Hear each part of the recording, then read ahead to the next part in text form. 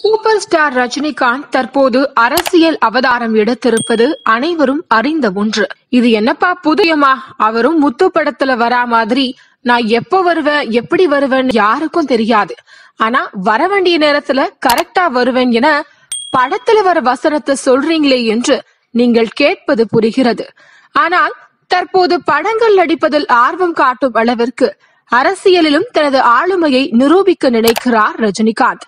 அதற்கு சாட்சியாக பல பத்திரிகையாளர் சந்திப்பின் போது ஆளும் அரசாங்கத்தை சற்று சீண்டியும் பார்த்துள்ளார் கடந்த இரண்டாயிரத்து பதினேழாம் ஆண்டு தான் அரசியலுக்கு வருவது உறுதி என்று ரஜினி தனது தொண்டர்கள் மத்தியில் அறிவித்தார் அதன் பின்பு அரசியல் களத்தில் ரஜினி பெயர் பேசும் பொருளாக இருந்தது பின்னர் படப்பிடிப்பில் பிஸியானதால் கட்சி பணிகளை நிர்வாகிகளிடம் விட்டுவிட்டு படங்களில் நடிக்க தொடங்கினார் எழுதி வைத்து வருகிறதா என்று தெரியவில்லை ஒவ்வொரு படத்தின் போதும்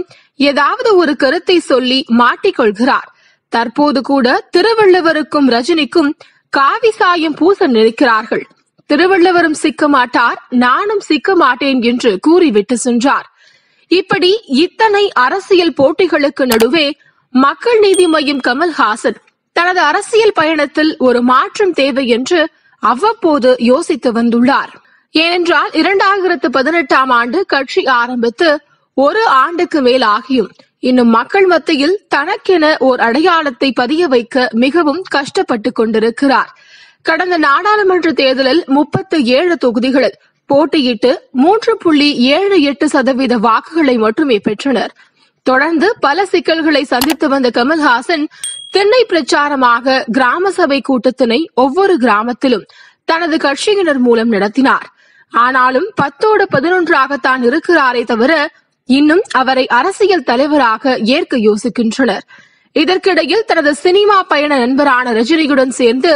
சட்டமன்ற தேர்தலை சந்திக்கலாம் என்ற திட்டத்தினை கையில் எடுத்துள்ளதாக தகவல் வெளியாகியுள்ளது இருவரும் இணைந்து சட்டமன்ற தேர்தலை சந்திக்கும் தகவல் உறுதியாகாமல் இருக்கும் பட்சத்தில் இந்த தகவல் குறித்து கூட்டணி விவரம் அப்படி இப்படி என்று சமூக வலைதளங்களில் அதிகமாக ட்ரெண்ட் ஆகி வருகிறது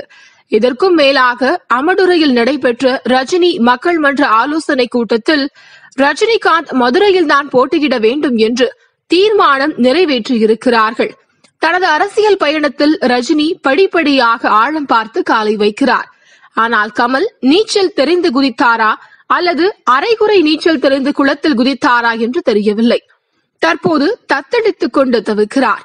ரஜினியும் பாஜகவுக்கும் சாய்ந்து விடுவார் என்று ஆன்மீக அரசியல் என்று எல்லாம் பேசியவர்கள் சமீபத்தில் ரஜினி பாஜகவிற்கு எதிராக பேசிய நிகழ்வில் அனைத்து பேச்சுகளுக்கும் முற்றுப்புள்ளி வைத்துவிட்டு